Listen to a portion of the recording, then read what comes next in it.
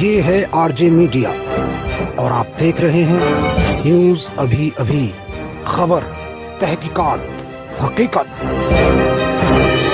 दारुल उलूम ने दिया फतवा। फतवे में कहा, प्रशासन के निर्देशों के अनुसार मस्जिद या घरों में अदा करें ईद की नमाज़। ईद की नमाज़ अदा न कर पाने वाले लोग चाश्त की नमाज़ पढ़ें। इस्लामी तालीम के प्रमुख केंद्र दारुल उलूम देवबंद ने फतवा जारी कर कहा कि ईद उल फितर की नमाज़ भी जुमा की नमाज़ की तरह ही शासन, प्रशासन के निर्देशानुसार मस्जिद या घरों में अदा की जाए।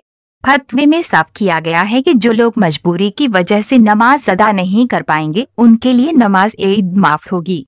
मोहतमी मुफ्ती अबुल कासिम नौमानी के लिखित सवाल के जवाब में दारुल उलूम के मुफ्तियों की खंडपीठ ने जारी फतवे में कहा है कि ईद की नमाज़ वाजिब है और इसके लिए वही शर्त हैं जो जुमा की नमाज़ के लिए हैं।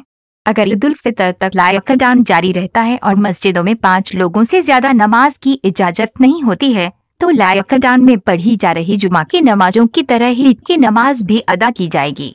और जिन लोगों के लिए ईद की नमाज़ की कोई सूरत न बन सके, उन्हें परेशान होने की ज़रूरत नहीं है। मजबूरी की वजह से उनसे नमाज़ ईद माफ़ होगी। अलबत्ता ऐसे लोग जो नमाज़ ईद न पढ़ पाए वह अपने अपने घरों में दो या चार रकात चाश्त की नमाज़ पढ़ लें तो बेहतर है।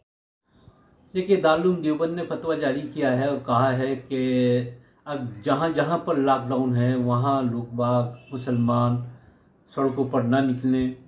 और इज्तमात से परहेज़ करें और नमाज़ ईद भी घर पर ही रहकर पढ़ें।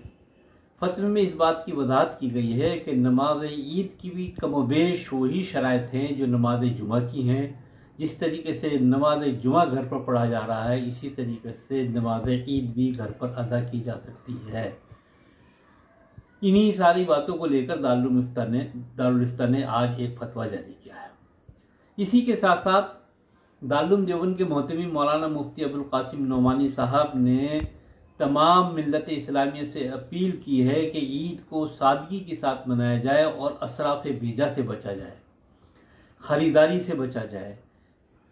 खरी गैर ज़रूरी ख़रीदारी और बाज़ार जाने से परहेज़ करने का फ़ायदा ये होगा कि आप गुराबा की मदद कर सकते हैं। उस पैसे से जितना हो सकता है मसाकिन की, गुराबा की मदद की जाए, ज़रूरतमंदों की मदद की जाए और ईद को सादगी के साथ मनाया जाए।